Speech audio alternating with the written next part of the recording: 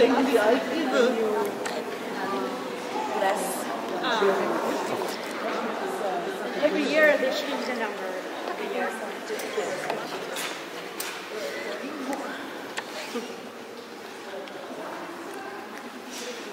There's also our heraldic emblem, the pine cone. And we don't say pine cone in Augsburg, we say. Zirbelnuss.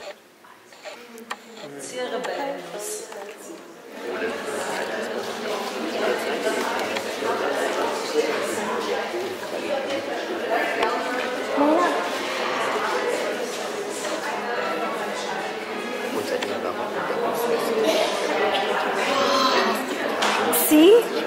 And it's oh look at it, My God, that's so cool. right? How fun.